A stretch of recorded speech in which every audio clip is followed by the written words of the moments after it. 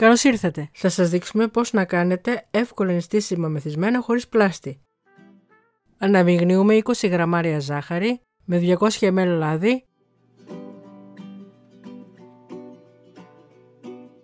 Τα σκεύη και τα υλικά που χρησιμοποίησαμε στη συνταγή μπορείτε να τα βρείτε στο foodaholics.shop.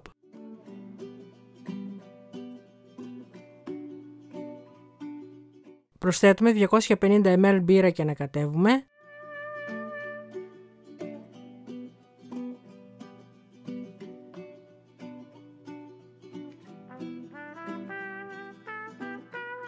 Αρωματίζουμε με δύο βανίλιες. Και το ξύσμα από ένα λεμόνι.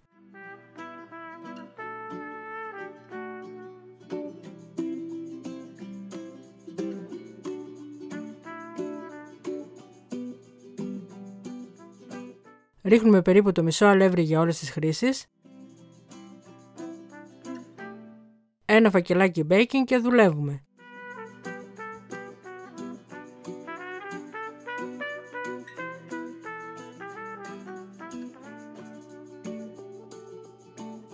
Ενσωματώνουμε το υπόλοιπο αλεύρι μέχρι που να γίνει μαλακή ζύμη.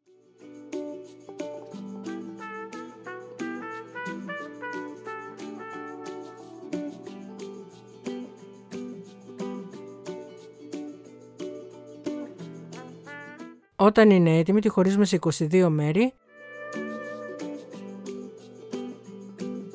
Τα πατάμε με τα χέρια μας να ανοίξουν.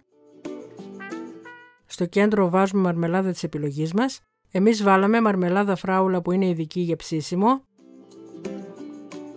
Κλείνουμε καλά. Για να βλέπετε όλες τις νέες μας συνταγές, κάντε εγγραφή πατήστε το καμπανάκι και επιλέξτε να λαμβάνετε όλες τις ειδοποιήσεις.